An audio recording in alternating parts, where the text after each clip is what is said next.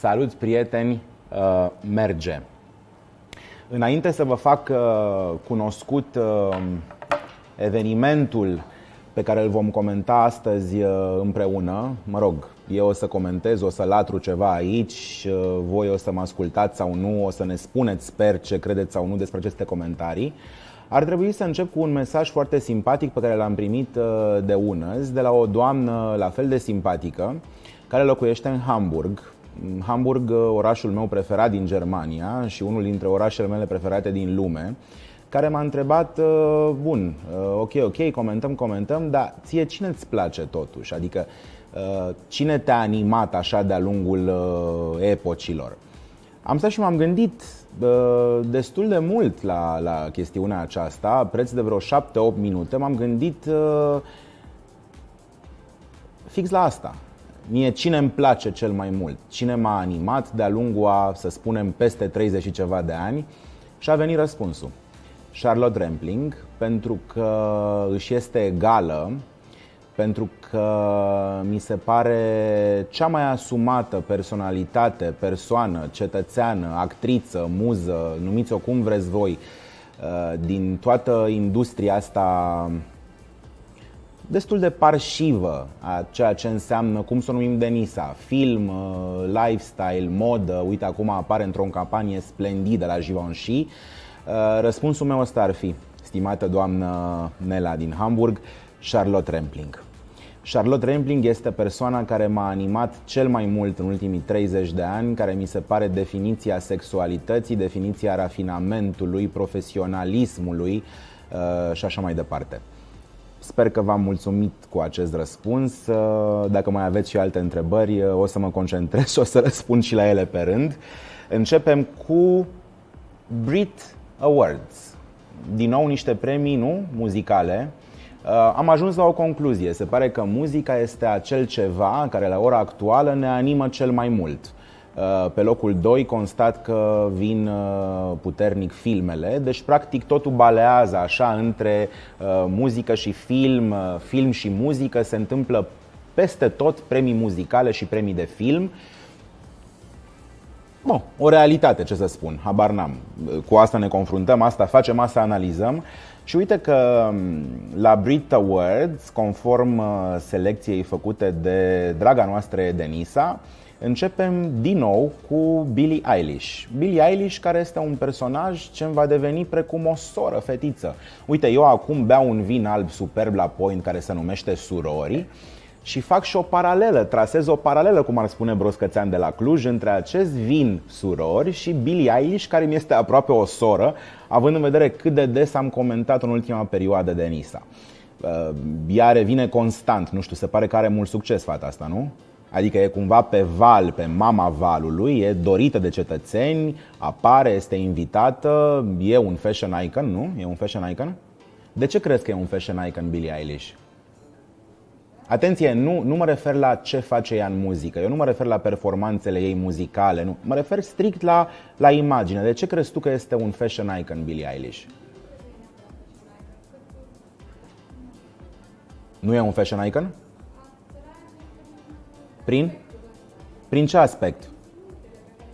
Păi, ținutele ei de Nisa sunt cumva extrem de asemănătoare, extrem de... Bă, eu nu spun că e rău, pentru că asta mi se pare, dacă vreți, cea mai mișto chestie, să ajungi cumva la un nivel și acel nivel să vorbească despre propria ta semnătură stilistică. Și cu toate astea, Billie Eilish nu mi se pare că sparge normele, că sparge tiparele prin ceva. Sparge în aparență, Adică sparge prima poșghiță din ce ar însemna o gheață foarte groasă. Nu merge până la capăt. Să luăm bună oară acest ansamblu Burberry, care este un, un, un Burberry din cap până în picioare, pe rețeta pe care o tot pitrocim de ani de zile, se întâmplă aceeași chestie cu uh, habar n-am, uh, Fendi, uh, Gucci, Chanel, Dior și așa mai departe. Se merge pe acest uh, pachet full pachet, ca să spun așa, adică tot ceea ce poartă Billie Eilish în această imagine, așa cum poartă alți cetățeni care au contracte cu alte case, este de la casa respectivă. Ehm, stau să mă întreb totuși ce se întâmplă cu identitatea brandului, pentru că și asta e o chestiune extrem de fluidă și ar fi foarte bine să ajungem să analizăm într-o zi și acest tip de identitate de brand.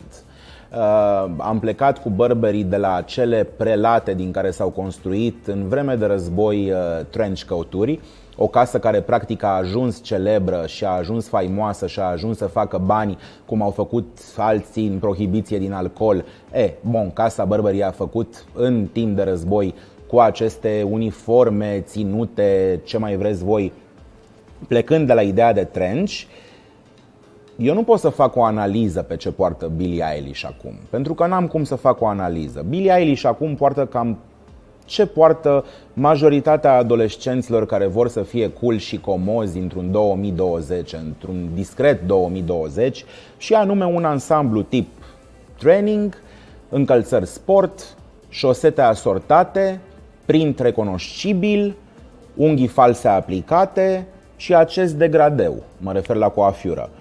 Sigur că ea se înscrie în niște norme care vorbesc despre o vârstă, despre niște interese, despre o fluiditate a genului, etc. Întrebarea mea vine dintr-o altă direcție. Ce se întâmplă cu acea identitate a brandului? Ce facem cu acei clienți pentru care totuși Burberry, ca și Brunello Cucinelli, ca și Loro Piana, ca și Fendi, ca și Dior, ca și Gucci, uh, lista poate fi, mă rog, foarte lungă, uh, ce facem cu acei clienți care totuși încearcă să identifice sau să reidentifice la nivel de casă produsele pentru care ei au ajuns să devină fideli casei respective. Este foarte ok acum să te reorientezi și să spui că dacă a reușit Alessandro Michele la Gucci, dacă s-a reușit chestia asta inclusiv la Fendi, de ce n-am putea să o facem noi la Burberry? Eu nu spun că e rău sau că e bine, spun doar că această identitate de brand la ora actuală a devenit un ceva atât de fluid încât aș putea să spun că e aproape un fel de minge de ping-pong, ca și ținutele pe care le poartă Billie Eilish. Ținute care nu vor intra neapărat într-o mare panoplie a chestiilor ce vor deveni repere peste câțiva ani de zile, este un ceva care s-a construit acum în jurul unui fel de bază pe care el creează, Burberry sigur că a prins chestia asta din mers, din zbor, dar nu e un exemplu singular, pentru că asta a făcut și Gucci, doar că a avut un mic avans, are un mic avans de vreo 4-5 sezoane și atunci stai și te întrebi what's the point? Pentru că toți suntem la point, nu? Care e miza în ecuația asta? Nu știu care e miza, tot ce pot să vă spun e că forma trenciului derivată dintr-un poncho este una agreabilă, că mi se par la fel de agreabile în continuare aceste carouri, doar că ceea ce devine prea căutat, ceea ce vrea să devină brusc prea young, tăind din rădăcină un segment mare de cetățeni care practic susțin șandramaua, devine din punctul meu de vedere problematic. Uh, concluzia, nu am ce să comentez neapărat la Billie Eilish, care se rezumă la aceleași ansambluri Uh, la aceeași um, epopee oversized, nu e nimic de spus. Decât că cineva uh, din creația de la Burberry a reușit să redea trenchului Burberry un ceva foarte nou și foarte fresh. Cam atât. În rest, n-am să mă refer nici la ansamblul din Catifat Tip Training, care este prins cu niște anouri neprietenoase, N-am să mă refer nici la ciorap, nici la încălțările sport. Am să mă refer strict la acest uh, trench despre care pot să vă spun da, că poate fi și în acest moment reprezintă o piesă statement și cam atât. Ellie Goulding, la aceleași Brit Awards, Măi, Denisa, poartă o rochie care mi-e foarte cunoscută. Am văzut-o cu siguranță recent undeva postată pe un cont de Instagram.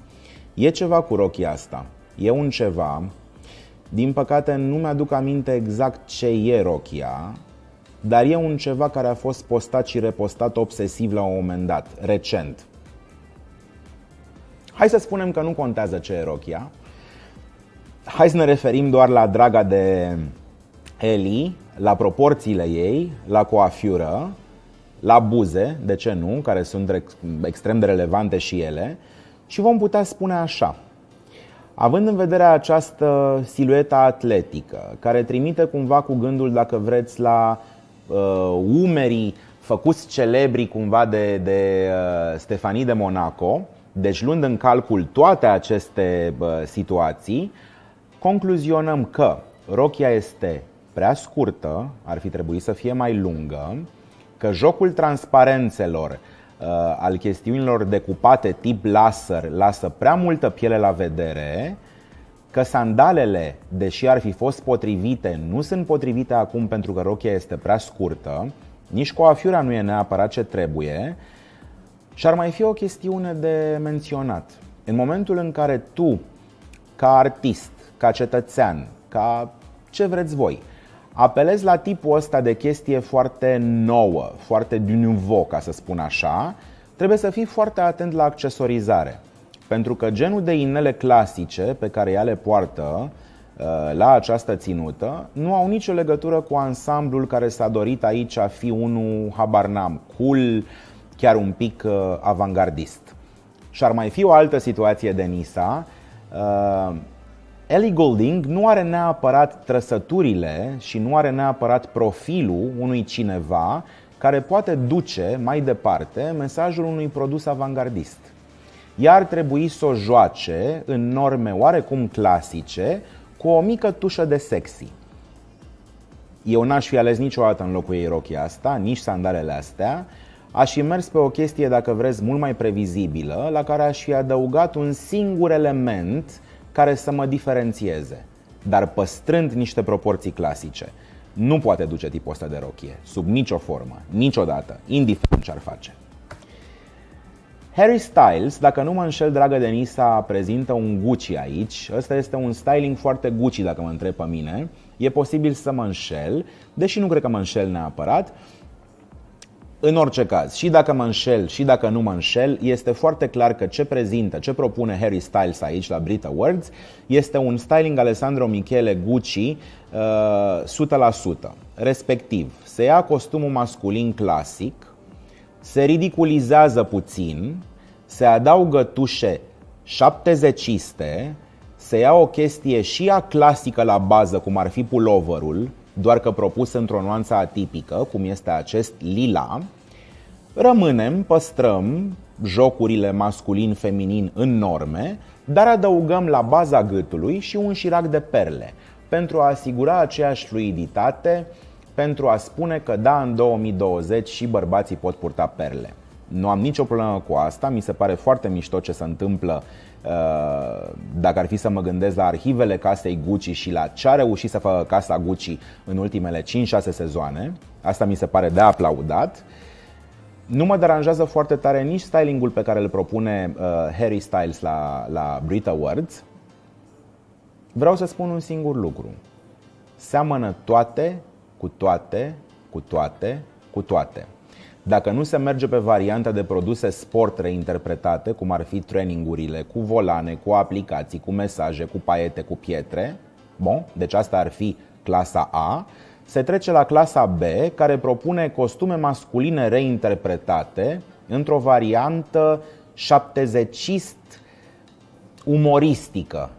E ok să faci asta odată, de două ori, de trei ori, dar în momentul în care tu începi să lucrezi cu foarte mulți cetățeni uh, din această industrie și să-i propui pe toți cam la fel, adică pe un ce ar însemna un Al Pacino di Granda sau un Robert De Niro di Granda, dar luați din contextul lor șaptezecist și trecuți cumva prin filtrul lui Alessandro Michele, cred că uh, avem o problemă de la un punct încolo. Vezi cazul Harry Styles aș fi renunțat la perle, aș fi renunțat la inele, aș fi renunțat la pullover. Și mi s-ar fi părut că este o chestie amuzant asumată. Așa, devine doar o ștampilă, devine cumva un uh, purtător de brand, de nume, de identitate de brand, previzibil, repetitiv, obsesiv și atunci tu dacă ți-ai dorit să naști un produs care să vorbească despre fluiditate, libertate și nu știu ce, acest produs, pentru că se repetă prea, prea, prea, prea, prea uh, des, nu mai vorbește despre aceste principii. Înțelegeți ce vreau să spun? Georgia Smith. Ce face Denisa Georgia Smith? Ce face? Cântă. Ia ce cântă? Îmi predonești ceva? Un R&B. Un R&B ce? Un R&B. De ce înseamnă un R&B with the twist? Ce vrea să însemne asta? Uh-huh. Georgia Smith, care cântă conform Denisei un R&B with a twist, with a twist are o salopetă cu intenții 3D care nu-mi spune absolut nimic, o pereche de cizme tipa preschiuri, dar cu toc, care îi scurtează piciorul. Printul nu o ajută nici el foarte tare, pe draga de Georgia. La această salopetă, unde ea a crezut că reinterpretează noțiunea de SF și avangardă, a simțit nevoia să vină și cu niște meșe uh, pe un buclaj nu neapărat discret într-o nuanțe negru corb și pensată cumva perfect în ideea de am ridicat-o ușor, doi oltem plecau la coasă. Nu mă convinge deloc Denisa și mi se pare extrem de previzibil ce a făcut uh, Georgia Smith. Uh, probabil că în uh, cântecele ei, nu știu, nu sunt sigur, dar probabil vorbește cumva și despre eliberarea femeilor, sexualitate, nu știu ce, nu știu, te întreb, probabil. Tind să cred că se învizajează și zona aia. Din păcate, ceea ce propune ea la nivel stilistic, nu numai că nu învizajează zona aia, o blochează complet și o anulează complet. Draga de George a vrut să fie culistă, avangardistă, sefeistă, retroistă, nu e și nimic, e doar previzibilă și un pic pițipoancă. Nu că aș avea neapărat ceva cu ideea de pițipoancă, dar către asta trimite. Poziție, uitătură, cătătură, prafissimo. Lizo. Asta e un moschino cu milk chocolate? E un moschino, vezi? Am recunoscut-o probabil că un moschino sur mesure. Uh, coafiura este pur și simplu ridicolă. Există o carte care mi-a plăcut foarte mult în copilărie, uh, a unui autor rus, îmi scapă numele. O altă chestiune care m-a frapat uh, făcând curat în bibliotecă, mi-am dat seama că cele mai simpatice cărți pentru copii, scrise în perioada anilor 60-80, dacă vreți, erau scrise de autori ruși. Uh, și lasă textele, că erau textele ca textele, dar ilustrațiile absolut splendide. În sfârșit, Coafiura mi-aduce aminte de această carte din copilăria mea, care se numea Trei grăsani, fără nicio legătură cu silueta lui Lițo. Eu mă refer acum strig la coafiură. Atenție, nu fac body shaming, să ne înțelegem, să nu avem discuții la proces, da? Mă refer strig la coafiura asta tort, un pic ridicolă. Iar rochia Moschino nu știu, Denisa, nu mă convinge. Adică să vrea cumva cool, să vrea cumva glam, vorbește despre faptul că Lizo nu are neapărat cea mai uh, armonioasă siluetă conform normelor, ceea ce este foarte ok și nu avem o problemă cu asta, doar că mie nu mi se pare că reușește să fie nici glam, nici neapărat statement prin poziție și mesaj, ci doar vag ridicolă. De la mesajul de perochie până la coafiură, toate toate, dar toate, conturează un mesaj ridicol care s-ar dori dus în zona unei perfecțiuni glam. Din nou, un alt paradox. Și la Lizo. Pe atunci hai să ne asumăm ce suntem, ce vrem să fim și ce vrem să transmitem. Pentru că așa nu transmitem nimic. Decât că am pus ceva de la Moschino, un ceva care seamănă cu orice altceva de la Moschino și nu neapărat pe o idee pozitivă, cu o coafură ridicolă și cam atât. Paloma Faith, la aceleași premii uh, Brit Awards 2020, Măi, Denisa, îmi place. Uh, nu-mi place geanta și am să spun de ce nu-mi place geanta, pentru că nu mi se pare că se potrivește cu aceste sandale negre foarte prețioase. S-a făcut o singură greșeală aici, uitați-vă cu atenție. Dacă Paloma ar fi ales o pereche de sandale albe, ne-ar fi plăcut cumva mai mult și geanta. Dar pentru că sandalele sunt vizibile și foarte, foarte negre, geanta foarte, foarte albă și pălăria roz, dar un roz bombon, se creează cumva un oarește deranjament uh, vizual. Altfel n-am ce să comentez, pălăria mi se pare că are o formă perfectă, îi vine foarte bine, îmi place blondul pe care îl afișează, îmi place că nu e coafată, îmi place că are breton, rochia mi se pare superbă, are o finețe incredibilă, cerceii sunt foarte frumoși și ei, chiar și sandalele. Asta ar fi singura problemă. Ori lăsăm sandalele negre și punem geanta neagră, ori păstrăm geanta albă și punem sandale negre. Paloma, Fate, ești mișto. Tot de la Brit uh, îl avem pe Stormzy. Acum o să ne ajute Denisa să ne spună ce face Stormzy. Cântă și el. Dar vreau să o întreb pe Denisa dacă îi place cum arată Stormzy. De ce îți place la el? Îți place că e înalt, îți place că are un corp perfect, îți place că are pielea asta e ciocolată, îți place că e cumva sexy, powerful, ce îți place la Stormzy? Da, e și la un date cu Stormzy? Dacă ți-ar propune Stormzy într-o zi și ar spune Dragă Denisa, ești la o cafea cu mine, ce ai spune? Da sau nu? Da? De ce? Păi nu că pare drăguț fetiță, e chiar superb. Uh, adică este un cetățean care propune practic idealul de corp, no matter what, nu luăm în calcul acum găștile și ligile, propune idealul de corp, punct. Idealul de vis erotic, punct. Are niște umeri perfecți, înălțimea potrivită, o maletă bleu ciel care vine pe el ca un obiect al dorinței, pantaloni albi și niște sneakers șalbi. Și evident, la mânuță, un ceva ce pare Rolex, dar nu văd de aici, Deniso, că nu-mi dai niciodată fetiță în mare, îmi dai mic, un ceva ce pare Rolex sau pe acolo din aur galben. Adică, practic, obiectul suprem al dorinței pentru toate tipologiile, categoriile, vârstele, interesele și așa mai departe. Prietena mea Simon spunea o chestie foarte simpatică despre un fost iubit la un moment dat. Bă, nu știu cum era, dar tot ce pot să spun e că prindea la toată lumea, la toate segmentele, la femei, la bărbați, la adolescente, la cucoane trecute 50, prindea la tot. Așa și cum Stormzy, fetița. Înțelegi? Stormzy a plecat la pescuit, practic. Prinde tot. Pe mine mă prinde, pe tine te prinde, nu știu pe Robertino dacă îl prinde. Deși la o adică cred că și pe Robertino îl prinde. Oprește, dragă, telefonul. A, nu la tine sună? Nu. Oricum, nu-l prinde pe el, îi prinde pe alții, Stormzy prinde la tot. Ținuta, zi Denisa, ținuta, ce facem cu ea? Uite, are o maletă care e un pic prea mulată, maleta are o etichetă, în dreapta jos, n-ar trebui să fie acolo eticheta și s-a mai făcut o greșeală, ciorapi, care se văd foarte, foarte puțin, dar îi văd, că știi că nu-mi scapă nimic, și care sunt negri. Nu. Trebuia să nu pună ciorapi, să scoate eticheta aia pe maletă și să plece liniștit la pescuit. Your dad is rich and your mom is good looking, fish are jumping and the cotton is high. Cam asta e cu Stormzy. Deci trecem de la Brit Awards la Image Awards. Am zis bine, da? La Image Awards. Uite, venim la Image Awards cu Angela Bassett,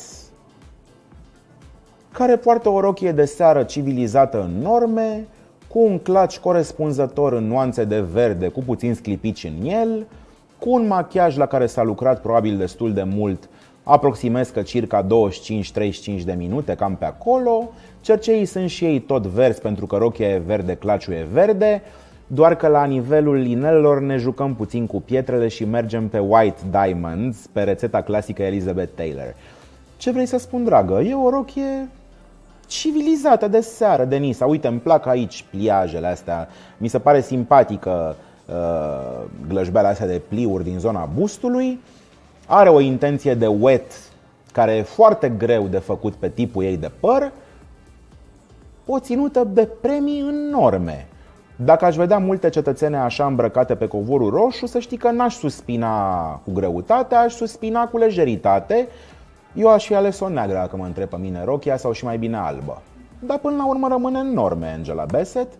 Brie Larson, și ea invitată la aceste Image Awards, uh, propune o chestie foarte simpatică în partea de sus. Adică îmi place topul, îmi plac la nebunie mănușile și îmi place faptul că nimic din ce se întâmplă la nivelul ăsta nu este pregătit, aranjat, propus spre n-apare tipul ăla de schimb, știi, la nivelul feței.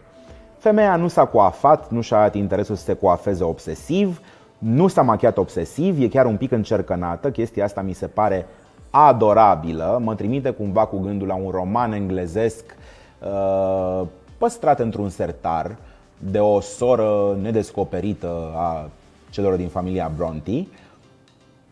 Dar rămân aici. Adică îmi place topul, îmi plac mănușile, îmi place la nebunie capul.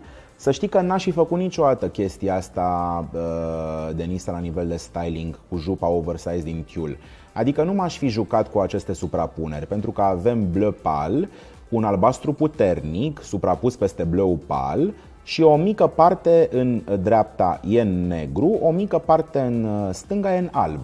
Eu aș fi ales jupa neagră și gândește-te, fă acest efort de imaginație, închipuieți această coafiură superbă, acest machiaj care nu este un machiaj impecabil, topul alb, mănușile din tiul cu aplicații din perle și o jupă neagră.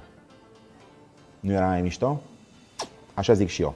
Altfel, simpatică apariție, Cynthia Erivo văd că merge foarte tare și joacă, joacă foarte tare uh, pe zona asta de decolteu. Nu știu, cineva i-a spus sau ei plac foarte mult rochile astea cu bustiere extrem de uh, propuse, ca să spun așa. Ar fi putut să o ducă mult mai bine în uh, lebedele lui Truman Capote dacă ar fi renunțat la ce se întâmplă în zona taliei. Mă refer la această jupă suprapusă peste rochie. Dacă Cynthia Erivo ar fi apărut doar cu rochia în sine, chiar și așa cum este ea aici, propusă fix așa la nivelul sânilor, cu acești cercei, cu această postură, rochia este superbă, dar fără intervenția din jurul taliei, aș fi spus, Cynthia Erivo, ai fi putut oricând să apari la acel uh, bal în alb și negru al lui Căpăutii, pe o variantă contemporană și toată lumea ar fi suspinat și ar fi zis Mamă, wow, ce apariție!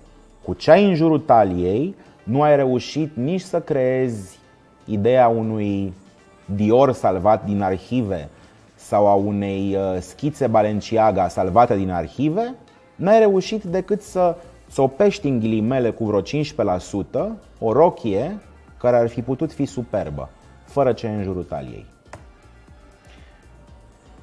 Janel are o ținută care nu mă inspiră absolut deloc. Este o rochie care se propune formată așa. Top negru din licra, susținut uh, de jupă printr-un fel de anou pe care îl observați foarte bine, care face legătura dintre top și jupă. Nu-mi place nici partea de top, nu-mi place nici partea de jupă. Partea de jupă nu-mi place și nu mi-ar plăcea în niciun context. Ar putea să-mi placă vag partea de top dacă s-ar fi păstrat topul, anoul, dar în jos nu am fi avut această inutilă, bicoloră, jupă, ci o pereche de pantaloni negri cu talie înaltă. Anou, top. Și aș fi spus, wow, Janel ce apariție mișto. Așa o să spun doar că e nefericită. Din nou Lizo, care văd că merge pe chestia asta de, nu știu, imprimeuri, uh, jocuri, uh, haioșisme, silueta asumată. Coafiurile, din păcate, la Lizo nu sunt niciodată ce ar trebui să fie, din punctul meu de vedere. Nu-mi place nici asta, cum nu mi-a plăcut nici uh, cea de la Brit Awards. Imprimeuri de Alice în țara minunilor nu avantajează, ar fi putut să aleagă o rochie fix cum este asta, cu forma pe care o are asta, dar din lurex auriu, dar un auriu din ala fațetat, tip oglindă. Și cu un păr așezat, glam, dar așezat. Și aș fi spus, Lizo, ce mișto ești. Nu te prind haioșismele și nu te prind din primeurile genul ăsta. Tu mergi pe chestii safe, glam safe asumate, nu haioșistic tâmp neasumate. Că nu e bine. Riana, într-o chestie albastră care face trimitere la ce făcea Albert Elbaz prin 2008-2009, mă refer la volanele astea foarte la Elbaz, și cu o pereche de sandale cu nojițe, vrei să spun ceva de Nisa? Nu e rău, dar nu e nici bine. Ar fi putut să fie mai bine dacă ar fi apelat la o altă coafiură. Dacă la această rochie albastră, care nu e neapărat cele mai, cea mai urâtă, cu sandalele cu nojițe, care nu sunt din cele neapărat cele mai urâte, are și oja albă la, la degetele la picioare, which is ok. E bun, dacă la acest ansamblu ar fi construit o clădăraie de ceva, un păr enorm, enorm, enorm, enorm, aș fi spus badabum. Vezi cum iese capul, cum se decupează capul din această învolburare de volane? Pare prea mic, prea de găină și nu susține volanele. Pe ce a făcut ea aici, ne trebuia o chestie enormă la nivelul coafiurii. Din păcate n-a făcut-o. Asta e. Skip Marley și Her. Skip Marley cine e dragă? Nepotul lui Bob, nu? Nepotul lui Bob care încearcă să-l uh, readucă pe Nentu în ecuație. Nu știu dacă are cum, că prea a fost legendă Nentu. Da, probabil că el încearcă, nu-mi plac încălțările, nu-l avantajează forma asta de jeans, îmi place că s-au îmbrăcat amândoi în, uh, în denim. Uh, aș fi ales în cazul lui, uh, lui Skip o pereche de pantaloni din denim ceva mai largi, cu talie mai joasă și o pereche de bocanci în zona asta foarte clasic previzibilă tip Timberlands. Mi se pare că ar fi dus-o cumva mai bine, nu ăștia negri cu uh, botul punctat de, de un ceva din oțel, aluminiu sau habar n-am. Iar ținuta ei din denim e cumva și ea una care mi se pare ok pentru că merge foarte bine cu a lui din punctul ăsta de vedere, doar că nu aș fi marcat deloc uh, zona taliei. Aș fi lăsat-o cumva să pice, să curgă. Cam atât. Tracy Ellis Rose, tot la Image Awards, într-o rochie din tafta cu o formă clasică, e practic tot ce am văzut noi în serialele care ne-au îndulcit uh, primăverile, serile, nopțile din comunism când visam sau se visa, nu știu, la Dallas, la Dynasty, la habar n-am la ce să visa. Rochia merge în tipologia aia foarte obzecistă. Nu este o rochie urâtă, pantofii sunt din păcate mari și se vede chestia asta și mă deranjează că se vede că îi sunt mari, dar vrei să spun ceva, sunt argintii. Ca și în cazul lui uh, Lizo, tot la aceleași premii, a și păstrat acest tipar de rochie, dar într-o nuanță incredibilă, fantastică, violentă de auriu, care în combinație cu pantofii argintii ar fi conturat tabloul perfect. Îmi place cu afiura, mi se pare simpatică accesorizarea, mă refer la cercei, dar jocul de auriu cu argintiu și aici ar fi reprezentat un pariu câștigător. Am terminat o ediție în două sau două într-una, cum le spunem. E ca la NES-ul ăla care se face din trei mișcări. Asta a vrut de Nisa, deci nu mai facem cat-cat. Rămânem două ediții într-una și ne revedem curând cu ce? Cu Milano? Ne revedem curând cu Milano Fashion Week, dar nu s-au închis, e ceva cu Milano, că s-au întors mulți jurnaliști de acolo, coronavirusul, e o situație. Sper să nu o dăm curând în drame, că n-am chef de asta și nici tu, presupun, nu? Și nici voi. Nu ne panicăm? Păi să nu ne panicăm, dar e groasă, cumva, cred. Începe să fie mm, sau sau. Sper că v-a plăcut analiza, sper că v-a plăcut ce poze a ales de Nisa. L-am iertat și pe Robertino care a întârziat circa 40 de minute astăzi. Trei surori cunosc pe lume, de la Point. Vă pupă, Moris. Ciao.